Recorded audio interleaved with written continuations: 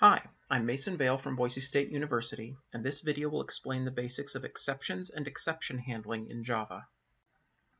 You've likely been dealing with exceptions in your Java programs from the very start. If your program has ever crashed and produced a stack trace, you've experienced the result of an unhandled exception occurring in your program. So why have your instructors avoided explaining how exceptions work and how to avoid crashes from the very beginning?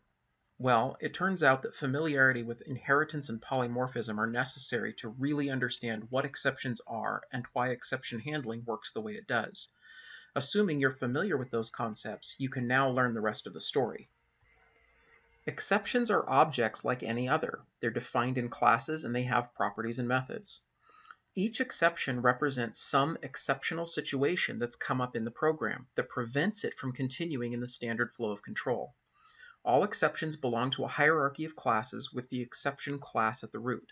What makes them special is that they're all descendants of another class called throwable, and they can be thrown, which breaks a program out of the standard flow of control and puts it into the exception handling flow.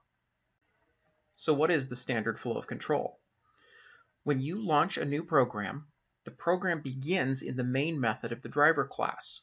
The runtime environment executes statements in consecutive order until it reaches the last line of main and the program exits. Between the beginning and end of main, though, the flow may branch, it may loop, it may move to methods and other objects, but statements are still executed in sequential order, working toward completion and exiting at the end of main. In this example, main executes statement 1 followed by statement 2. When it reaches the call to method 1, main has to wait for method 1 to return before it can continue with its own statements. The flow passes to method 1 in other class.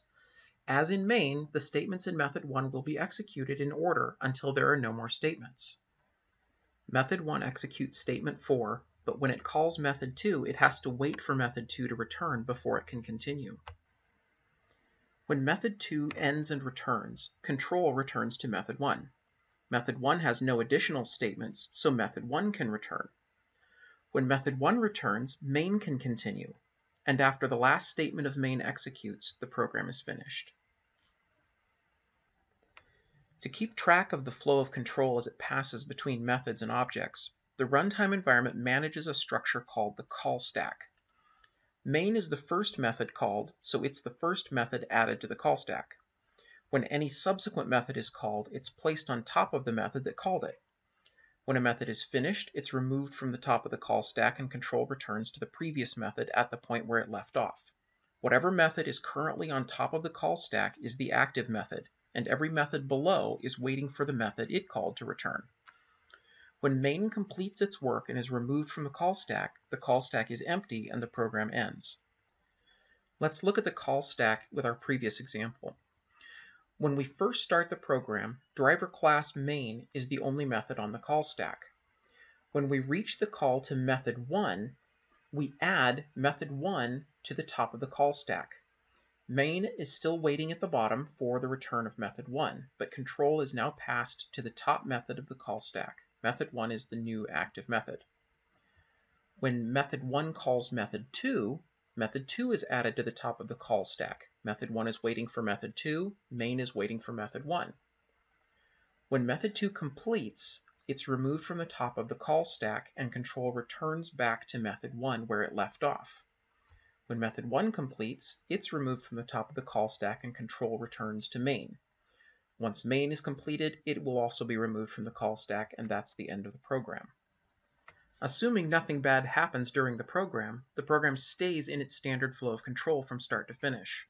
However, sometimes an exceptional situation comes up during execution and the program can't continue in the standard flow of control. When that happens, an exception object representing the problem and the program state is created and thrown. Examples of exceptional situations include null pointer exceptions, where the program tries to follow an object reference that doesn't point to an object. An arithmetic exception may occur when attempting an invalid operation like dividing by zero. Trying to access an invalid index position in an array or a string will result in some kind of index out of bounds exception. File not found exception might occur if the program can't find or open a specified file. These are just a few examples, and I chose them because you're likely to have encountered some or all of them. So exception objects are created and thrown when an exceptional situation is recognized. The moment the exception is thrown, the Java runtime environment breaks out of the standard flow of control and enters the exception flow. Your code at that point has the opportunity to deal with the exception in one of three ways. The first option is the one you're familiar with already, do nothing. You're also familiar with the result of doing nothing. The program will crash and a stack trace, which is a view of the call stack at the time the exception was thrown, gets written to standard output, which is usually the console. For most runtime exceptions, this ends up being the best choice. Before we move on, it's very important that we talk about the value of the stack trace output. This is valuable information for debugging and figuring out what went wrong. It includes the type of the thrown exception, any message that was passed into the exceptions constructor, which possibly has important details about why the exception was thrown, and it has the call stack, which shows the line number for the current statement in every method that was active when the exception occurred.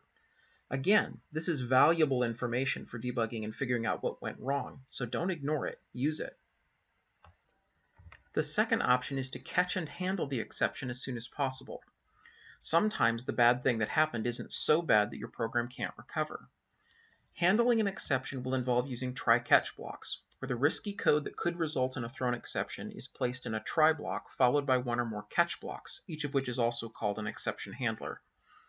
After all of the exception handlers, you can optionally include a finally block that is guaranteed to execute whether or not an exception gets thrown. This block is really useful for cleanup or state-saving operations you absolutely don't want missed. The good news is when you catch and handle an exception, that handled exception will not crash the program. After an exception is caught, the runtime environment can resume the standard flow of control with the next statement following all exception handlers. Here's an example where we're trying to open a text file in a scanner and read an integer from it. A couple of things could go wrong here.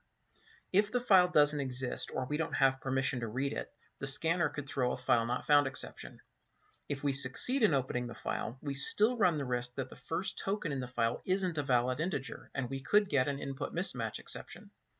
So the statements that could result in exceptions are placed in a try block. Notice there's one other statement also in the try block. This statement isn't expected to throw any exceptions, but it references a variable that would only have a valid value if we succeeded in opening the file and reading an int. So code that depends on getting past the dangerous code also belongs in the same try block. After the try block, we have catch blocks or exception handlers for the expected exceptions, and after the handlers is a finally block to guarantee that no matter what, we don't leave a file open in a scanner. Catch blocks are similar in structure to a method call. They specify an exception data type and a variable name like a method parameter. Inside the handler, you can refer to the caught exception by that object reference. In this example, the file not found exception handler calls the exceptions to string method. You don't have to do anything with the exception object once it's caught though. The input mismatch exception handler doesn't use the exception object in the code. Catching it was all that was necessary to handle it the program won't crash as a result of this exception. Here's where polymorphism comes into play. A thrown exception is compared to each of the listed catch types in order until a compatible assignment can be made. The exact type of the exception may not be present, but if an ancestor of the exception is found, it will match. For this reason, it's important that exception handlers are in order from most specific to least specific. A handler for the root exception class would match any descendant type, so you'd never get past that handler to a more specific one. Typically, if you want to make sure any exception would be caught and handled in some default way, you would end your list of catch blocks with one that uses the root exception type. This example is a variation on the previous one, but instead of having a handler for the file not found exception, I have a general handler for all exceptions that follows the specific handler for input mismatch exception. Any exception, including file not found exception, that doesn't match the first handler would be caught by the second handler. This is a partial view of the exceptions hierarchy. At the root of the hierarchy is the exception class. All other exceptions are descendants of this class, getting more specific about exactly what kind of exceptional circumstance they represent. As descendants of exception, all exceptions share inherited functionality, like the ability to be thrown and caught, to specify a message detailing what went wrong and to report the state of the call stack at the time the exception occurred. This is a good time to point out that there are two major groupings of exceptions in the hierarchy, runtime exception and its descendants, and all other descendants of exception not under runtime exception. Runtime exception and its descendants are what we call unchecked exceptions. The compiler isn't going to warn you that they might happen, because if they do, it's a result of something wrong with your program that should be fixed. We don't want to handle those kind of exceptions. When they occur, your program should crash and you should fix the, co the code that caused it to be thrown. Exception itself and all of its non-runtime descendants, on the other hand, are called checked exceptions. The compiler will warn you when you have a potential checked exception to be aware of, so you can prepare for it. They typically represent events that you know in advance are a possibility, but if they occur, it isn't the program's fault. For example, a program may prompt the user for the name of a file to open and read. The user may incorrectly enter the file name, and when the program attempts to open that file, it fails. The program worked correctly, but it couldn't do what it was asked to do. Because checked exceptions represent events that would be the result of something outside of the program's control, the compiler will require that they're acknowledged. Your code has to handle checked exceptions or explicitly state that it isn't going to handle it. While we're here, we should also note that there is another kind of throwable class, errors. Exceptions typically represent bad things that happen, but errors represent very, very bad things from which there is no coming back, like memory failure or some component of the runtime environment is discovered missing. Exceptions may or may not be bad enough to warrant ending your program, but they don't indicate something catastrophically wrong with the computer itself or the runtime environment's ability to run programs correctly. Now that you've seen some of the exceptions hierarchy, you can appreciate that the ordering of your handlers will be important to ensure you catch the specific exceptions you want to catch where you want to catch them. The third handling option is to propagate the exception to another method deeper in the call stack for handling. In essence, by moving deeper into the call stack, you're backing up the program to an earlier state before you deal with the exception. This can be a good option if you have, say, a sequence of related method calls that make up a larger process. If anything goes wrong during one of the steps, you'd want to start over at the beginning of the whole process. So propagation passes the exception through the call stack until it's caught. The first method with a chance to handle the exception, of course, is the one on top of the call stack. If the current statement is not inside a try block or there's no catch compatible with the thrown exception, the method is removed from the call stack and the exception propagates to the next method, which is now on top of the call stack propagation continues until the current statement of the top method is in a try block with a corresponding catch compatible with that thrown exception. If no method has a catch matching the thrown exception, propagation will eventually reach main.